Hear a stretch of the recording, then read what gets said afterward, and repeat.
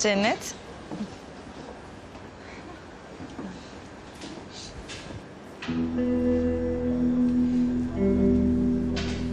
Çok iyi görünüyorsun, sevindim.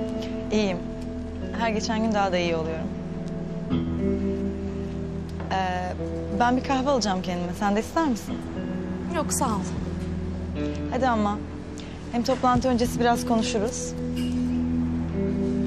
Sütlü mü olsun, sade mi olsun kahven? Sen nasıl içiyorsan öyle olsun. Tamam, o zaman iki tane sütlü getiriyorum.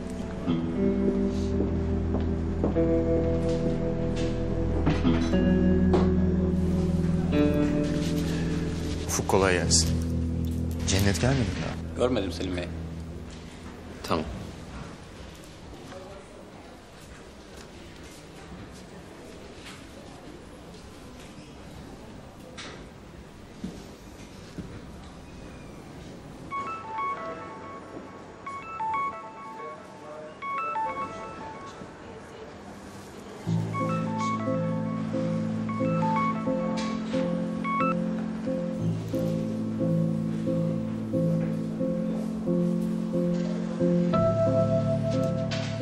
Demek duyduklarım doğruymuş.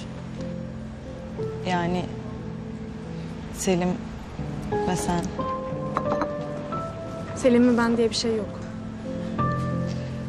Bana anlatabilirsin Cennet. Anlatacak bir şey yok aslında. Aramızdakine ilişki demek bile yanlış olur. Selim bana öyle dememişti ama. Selim gerçekten çok iyi biri. O benden çok daha iyi birini hak ediyor. Ben onun hayatı boyunca mutlu olmasını istiyorum. Melisa ben daha fazla kahveye devam edemeyeceğim. Sonra görüşürüz.